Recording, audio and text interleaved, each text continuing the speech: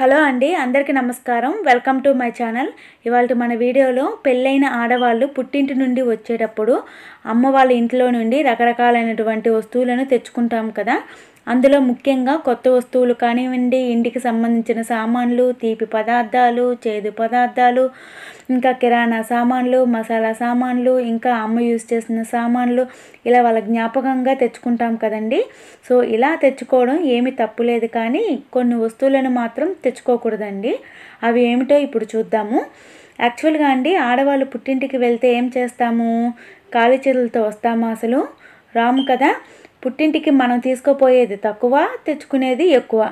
కదండి? కొన్ని వస్తువులను అవసరం ఉన్నా లేకపోయినా నచ్చితే తెచ్చేసుకుంటాం అక్కడి నుండి. అది ఆడవారి హక్కు ఆడవారి స్పెషల్ ఆడవారి నైజం. కదండి? కాబట్టి కొన్ని వస్తువులను మాత్రం ఎటువంటి పరిస్థితిలో తెచ్చుకోకండి. ఒకవేళ కొత్త వస్తువులను తెచ్చుకుంటే కనుక ఎలాంటి సాంప్రదాయాలు చూడనవసరం లేదు. కానీ పుట్టింటిలో యూజ్ చేసే వస్తువులను మాత్రం తీసుకొచ్చేటప్పుడు మనం కొన్ని జాగ్రత్తలు పాటించక తప్పదండి. ఎందుకంటే మన పుట్టింటి వారు బాగుండాలి మెట్టినింటి వారు కూడా బాగుండాలి. అనే కదండి మనం కోరుకుంటాము. సో అలాంటప్పుడు ఈ వస్తువులను తీసుకురావడంలో కొంచెం జాగ్రత్త కనుక తీసుకుంటే ఇటు పుట్టింటికి అటు మెట్టినింటికి అంత మంచి జరుగుతుందండి. కాబట్టి ఇప్పుడు ఆ వస్తువులు ఏమిటో చూసేద్దాము. అవి చూసే ముందు మీలో ఎవరైనా మన ఛానల్ని ఫస్ట్ టైం చూస్తున్నట్లయితే ప్లీజ్ సబ్స్క్రైబ్ చేయండి. అలాగే పక్కనే ఉన్న బెల్ ఐకాన్ కూడా యాక్టివేట్ చేసుకోండి. అలా యాక్టివేట్ చేసుకోవడం ద్వారా ఇలాంటి యూస్ఫుల్ వీడియోస్ మీరే ఫస్ట్ చూడొచ్చండి. మరి ఇంతకీ అవి ఏంటో చూసేద్దామా ఇప్పుడు? ఫస్ట్ వచ్చేసి కత్తెరలు కత్తులు చాకులు కత్తిపేటలు ఇలాంటివి ఉంటాయి కదండి. అలాంటివి అస్సలు తెచ్చుకోకూడదు. ఒకవేళ తెచ్చుకుంటే ఏమవుతుంది అని అంటే దానికి రీజన్ ఉంది. మన పెద్దవారు ఎంతో చక్కగా చెప్పారు. చాలామందికి తెలుసున్నా తెలియకున్నా ఒకసారి వినండి. అది ఏంటంటే పుట్టినింటికి మెట్టినింటికి మధ్య పగని ఏర్పరిచి చిన్న చిన్న విషయాలను కూడా పెద్ద విషయంగా మారి గొడవలకు దారితీస్తుంది. ఇలాంటి వస్తువులను కనుక తెచ్చుకుంటే.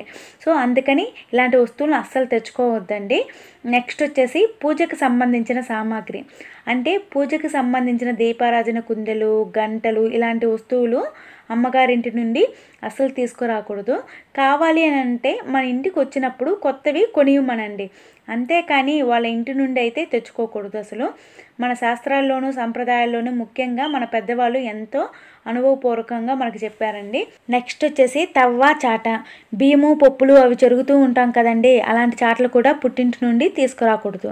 ఈ చాటలు అనేవి లక్ష్మీదేవితో సమానం. లక్ష్మీదేవిని పుట్టింటి దగ్గర నుండి తీసుకుని వచ్చేసామనుకోండి అక్కడ నుండి లక్ష్మీదేవిని తీసుకొచ్చేస్తే వాళ్ళకి లక్ష్మీదేవి కటాక్షం ఉండదు కదండి. కాబట్టి వాళ్ళు మంచిగా ఉండాలి అని అంటే ఈ చాటలు ఇటువంటివి కూడా తెచ్చు తెచ్చుకోకూడదు మనం. నెక్స్ట్ వచ్చేసి చేదుగా ఉండే వస్తువులు కూడా పుట్టింటి నుండి తీసుకురాకూడదు.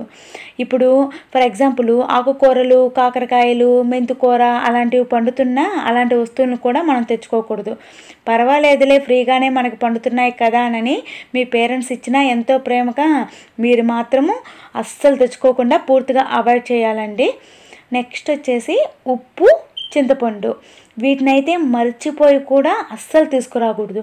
కొన్ని పరిస్థితుల్లో వాటిని తెచ్చుకోవాల్సిన అవసరం వస్తే వాటికి ఎంత ఖర్చు అవుతుందో అంత అమౌంట్ వాళ్ళకి ఇచ్చి తెచ్చుకోవచ్చు. ఒకవేళ చింతపండుని కనుక తీసుకొచ్చాము అనుకోండి మనకి మనస్పర్ధలు రావడానికి ఛాన్స్ ఉంది. కాబట్టి ఈ వస్తువులను కూడా అస్సలు తెచ్చుకోకూడదు. ఇంకా లాస్ట్ వన్ వచ్చేసి చీపుర్లు. ఇంటిని శుభ్రపరచడానికి రకరకాల మోడల్ చీపుర్లు వస్తున్నాయి కదండి ఇప్పుడు. అలాంటివి పుట్టింటి నుండి అస్సలు తెచ్చుకోకూడదు. ఎందుకంటే చీపురు అనేది శ్రీ మహాలక్ష్మి యొక్క స్వరూపం. ఇల్లుని శుభ్రపరచడానికి వినియోగిస్తాం కాబట్టి పెళ్ళైన ఆడవాళ్ళు పుట్టింటి నుండి తీసుకురాకూడదు. కాబట్టి పుట్టింటికి వెళ్ళినప్పుడు ఆడవారు ఇలాంటి వస్తువులను కనుక తెచ్చుకోకుండా జాగ్రత్త పడండి. ఎటువంటి పరిస్థితిలో కూడా ఇవి తెచ్చుకొని కోరి కష్టాలను తెచ్చుకోకండి. మరి చూసారు కదండి? ఆడవాళ్ళు ఎట్టి పరిస్థితుల్లో కూడా తెచ్చుకోకొన్ని వస్తువులు ఖచ్చితంగా వీటిని గుర్తుపెట్టుకోండి తెలియని వాళ్ళకు కూడా వీడియోని అయితే షేర్ చేయండి. ఇప్పుడు మీకు ఈ వీడియో నచ్చినట్లయితే లైక్ చేయండి. అలాగే సబ్స్క్రైబ్ చేయడం మాత్రం మర్చిపోవద్దండి. వీడియో ఎలా ఉందో మాకు కామెంట్లో చెప్పండి. Thanks for watching. Bye bye.